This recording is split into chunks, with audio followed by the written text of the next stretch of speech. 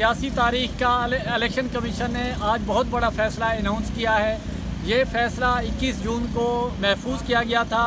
Election commission chief election commission chief election commissioner की सरबराही में तीन रुकनी बेंच ने इस केस की समात की। इससे पहले सिक्योरिटी कमेटी ने अपने इजलास में जिसमें स्टेट बैंक के नुमाइंदे ऑडिटर जनरल और दीगर जो मुतल इदारे हैं, उनके नुमाइंदों ने सिक्योरिटी कमेटी में इस केस की जाँच पड़ताल की, कौन की तफसीलात ली और फिर सिक्योरिटी कमेटी के जो पचानवे इजलास हुए और उसके बाद सिक्योरिटी कमेटी ने इलेक्शन कमीशन में अपनी रिपोर्ट जमा कराई और जिसके बाद इलेक्शन कमीशन में हेयरिंग हुई और पाकिस्तान तहरीक इंसाफ इलेक्शन कमीशन का दायरा कार भी चैलेंज किया और तहरीक इंसाफ ने हाई कोर्ट में ये भी कहा कि इलेक्शन कमीशन को इसकी समाज से रोका जाए।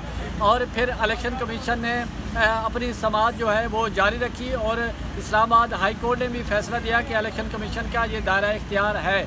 और इसके इलेक्शन कमीशन में पाकिस्तान तहरीक इंसाफ ने अपने नौ वकला की जो टीम है वो भी तब्दील की।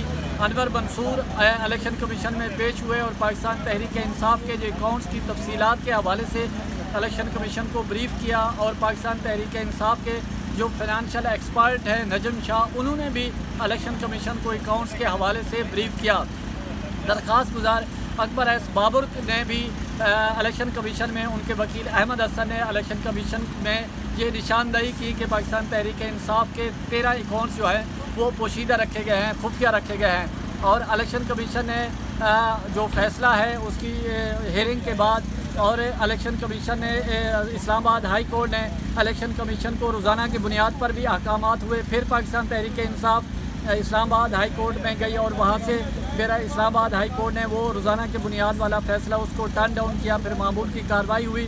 तो जब जो कार्रवाई, यानी कि हेयरिंग मुकम्मल होने के बाद इलेक्शन कमीशन ने 21 जून को फ़ैसला महफूज किया था और इसी दौरान इलेक्शन कमीशन जो हल्का बंदियाँ हैं, उसमें मसरूफ़ था और 30 जुलाई को हल्का बंदियों का अमल मुकम्मल हुआ।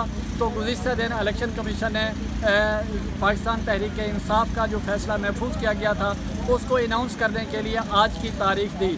और आज का दिन देखा जाए तो सियासी तौर पर पाकिस्तान की सियासी तारीख का बहुत बड़ा दिन है कि एक सियासी जमात की ममनुआ फंडिंग साबित हुई है, फर्म फंडिंग साबित हुई है और इलेक्शन कमीशन ने ये अपना फ़ैसला, वफाकी हुकूमत को भेजने का फ़ैसला किया है, वजारत दाखिला को फ़ैसला किया, इलेक्शन एक्ट के मुताबिक वजारत दाखिला जो है वो तहकीक़ात करके पाकिस्तान तहरीक इंसाफ के ख़िलाफ़ रेफरेंस सुप्रीम कोर्ट में भेजेगी, फिर सुप्रीम कोर्ट इसकी समात करेगा। सुप्रीम कोर्ट अगर समझेगी कि बाकी ममनुआ फंडिंग हुई है तो फिर पाकिस्तान तहरीक इंसाफ पर पाबंदी भी आयद हो सकती है। यानी कि पाकिस्तान पीटीआई बैन भी हो सकती है। ये अगले मराहल है, उसमें क्या होता है? इलेक्शन कमीशन ने अपना फैसला दे दिया है कि ममनुआ फंडिंग साबित हुई है।